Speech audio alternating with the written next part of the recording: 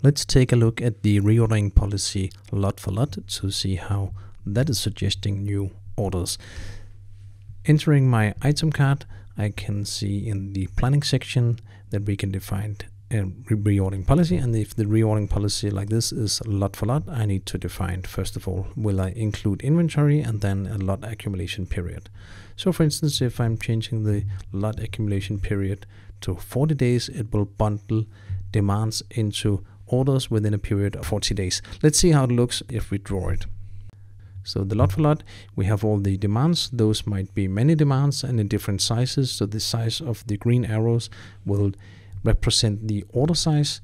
Maybe we already have an inventory level at the present date. We might have a safety stock and we have triggering on all those different actions. When a demand is uh, up, it would be triggered in this way. So the inventory level in the frozen zone, and the frozen zone is a period before starting date, so don't change orders before starting date if we use the frozen zone.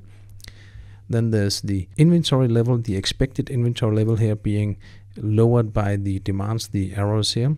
So every time there's a sales order or whatever demand, it will lower the inventory. And if we reach the safety stock level and get below the safety stock level, it will of course create a new order.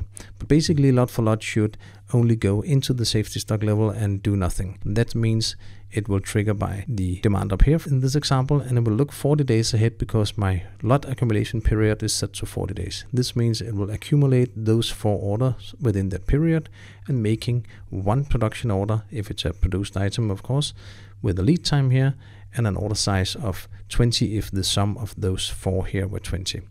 So the next time will be over here where there's a demand and it will look again 40 days ahead, making this example an order size of 26 and the lead time will be longer if it's a production item. So this is good for seasonal items because as you can see in the end, the orders grow bigger because the demand is getting more tight. So the order sizes will depend on the demand in the lot accumulation period. And this is how lot for lot is working.